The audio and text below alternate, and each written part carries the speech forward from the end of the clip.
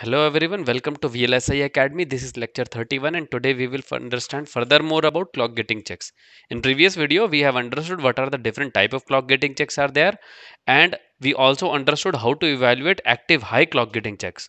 However, there was a problem in the clock sensing that we discussed there in the last and now we will understand that concept further in this video.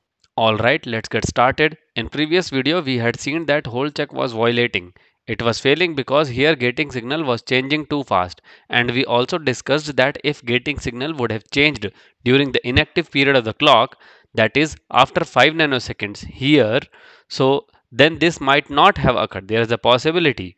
And we also told you that this is caused by the fact that sense of the gating signal here and the flip-flop being gated are same.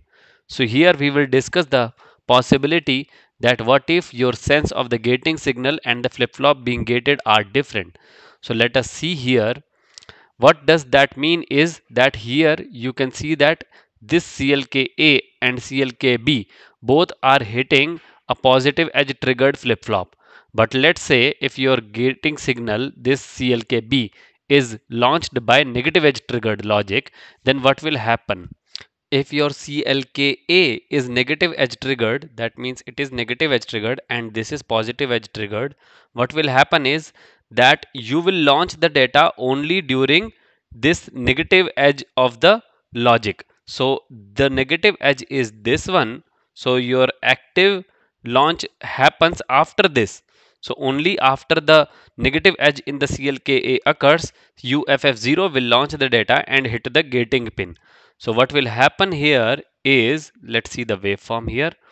What will happen is your gating signal will launch the data in this period and the clock signal will be positive edge triggered. So it will anyway launch the data here and our data will be captured at this edge.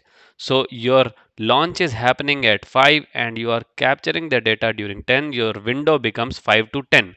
So this during this window you are supposed to get the data. Now let us look at the timing report what will happen. So this is the timing report that you can see. And here you can clearly see that your start point is 5 that means that it will start the launch at 5 so your launch is happening at 5 nanoseconds. And you can see that also there is fall written here. So that means you will have a fall edge only then your data will be launched.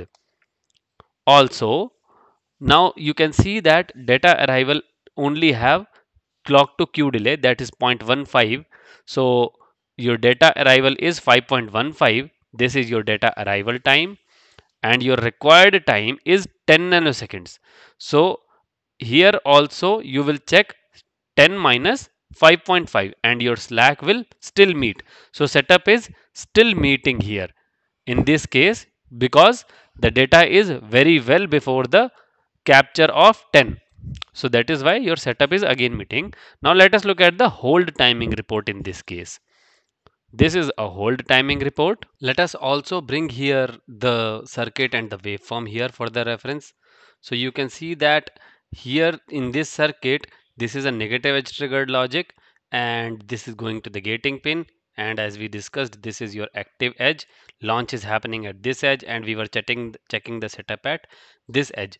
Now for hold what will happen is you will start the launch at this edge only and your same edge will become the falling edge. So you will check the hold at this edge.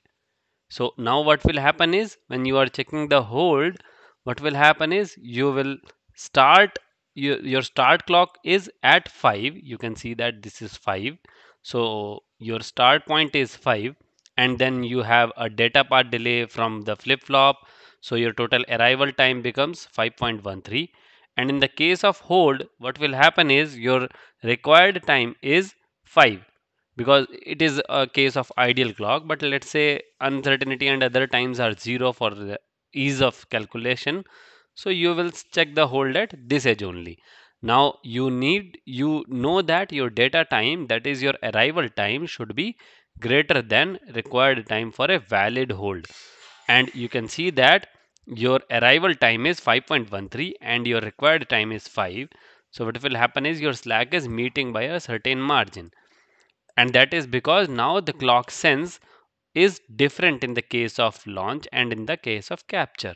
You can see that this is negative and this is positive. That's all for this video. So far we have understood active high clock gating checks. In the next video we will understand about active low clock gating checks. Please like, share and subscribe to the channel and please don't forget to leave your important feedback in the comment section. Thank you.